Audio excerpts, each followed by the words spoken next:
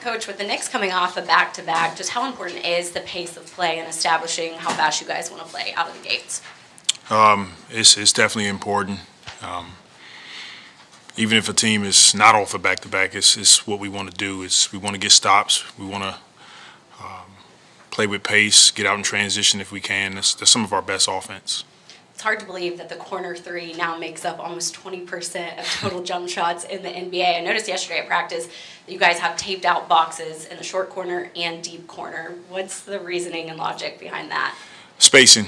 You know, we want to make sure we, we get to spacing in most of our sets. You know, you, you're going to have somebody in the corners. You're going to have guys in the high slot area. Um, and when we have space, we have much more room to operate. So that's, that's the gist of it. You guys did a really nice job on the, the glass against Memphis. Um, how mindful do you have to be of, of Mitchell Robinson and, and what New York you know can do on the boards? Very mindful. Um, he, he's a he's a difference maker, Mitchell Robinson, um, on both ends of the floor. Uh, defensively, they do a great job of protecting the paint. Uh, he's normally in a drop coverage, and anybody that comes to the basket, you know, he's he's down there waiting for you. Um, he's, he's a great offensive rebounder. So when we do get stops, we have to make sure all five guys are engaged in boxing out.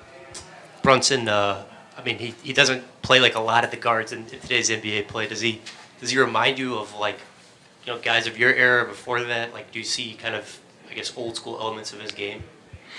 You know, he he's he's he has his own identity, and um, you know he can he can score when he needs to. He can facilitate. Uh, he he brings a level of tough toughness and leadership to the, the Knicks team, and uh, you know you can't let him get going and let him get confident. And um, we saw against Atlanta, you know, he shot the three ball well. So you got to make sure you know where he is at all times and uh, make his catches tough. Make it tough for him in pick and rolls.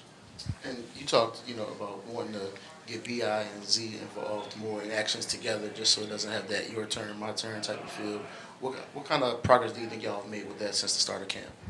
We're getting better and better. Uh, it's going to be something that continues to develop, continues to get better as the season progresses. And just uh, for Z, what's the, what do you think is the key, just when y'all learn half course, as to kind of have the spacing you need for him, but also you know giving him those driving lanes so he can find those three pointers you want.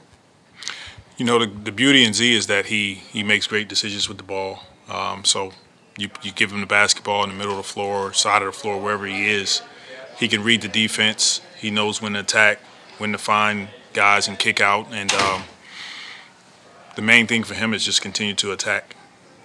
Coach, the Knicks have been putting Grimes on every team's perimeter, best perimeter scorer. Just where do you rank him in terms of defensive stoppers? How, is that someone that you have to kind of like game plan for? He's a good player. Um, he he makes that first unit. He he does all the little things. He guards the best players.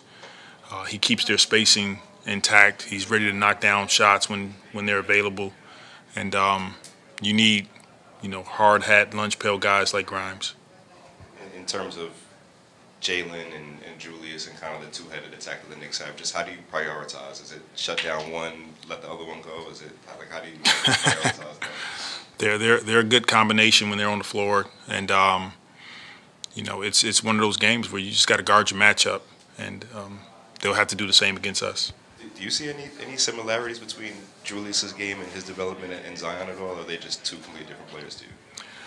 Uh, a little difference in the fact that you know Julius, um, you know he shoots threes, and uh, it's something that you can tell he's been working on with his game. He's elevated his game since he came in the NBA, became an All Star. Um, so he's definitely de developing more of an outside uh, attack, uh, but you know Z is more inside. He, he's more in the paint. He's more in transition. He's more in, in the post-up area. I know you were uh, pleased with some of the zone execution defensively and you as opener. Is that just going to be kind of signature to what the Pelicans do, or will it be team by team?